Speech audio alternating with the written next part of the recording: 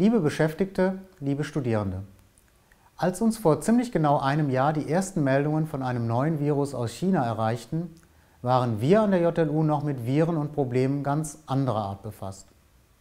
Wir glaubten im Februar 2020, zum Ende der Vorlesungszeit des Wintersemesters, mit JLU Offline eine Krise dramatischen Ausmaßes gerade hinter uns gelassen zu haben.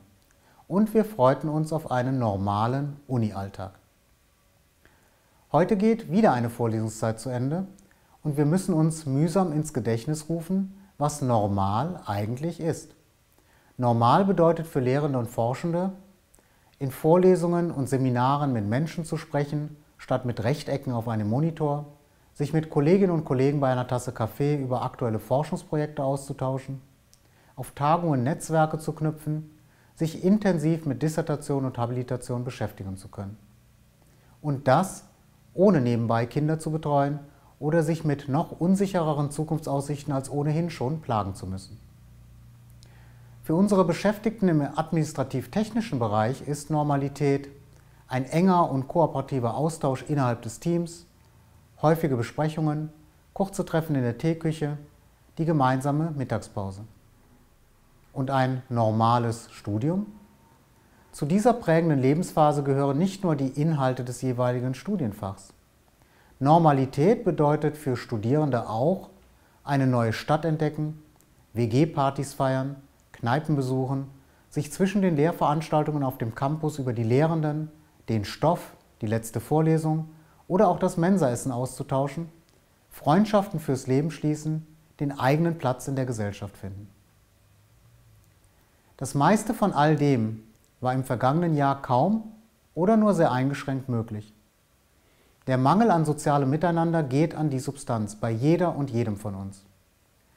Zwar ist und war die Fortsetzung von Lehre und Forschung auch in der Corona-Pandemie möglich.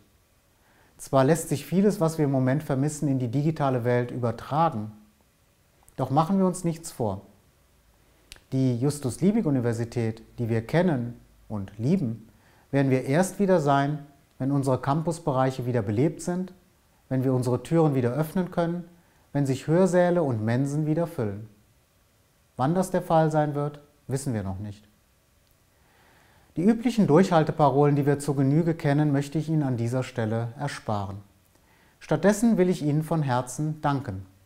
Sie alle haben im letzten Jahr Unglaubliches geleistet.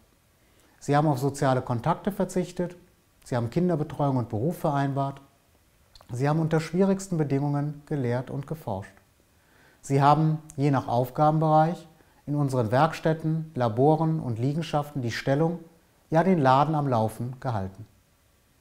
Sie haben bei allen Widrigkeiten ihre wissenschaftlichen Qualifikationsziele nicht aus den Augen verloren.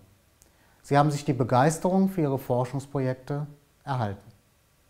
Sie haben sich als Studierende auf sich gestellt vor dem heimischen PC immer wieder selbst motiviert, um trotz allem weiter zu studieren. Die gute Nachricht am Ende eines jeden Wintersemesters ist die Hoffnung auf den Frühling. Das gilt insbesondere in diesem Jahr nach einem langen und für uns alle überaus kräftezehrenden Winter. Früher oder später wird die Normalität an die JLU zurückkehren. Darauf freue ich mich schon jetzt. Ich wünsche insbesondere den Studierenden viel Glück und Erfolg für die anstehende Prüfungsphase. Und Ihnen allen, dass Sie zuversichtlich und vor allem gesund bleiben.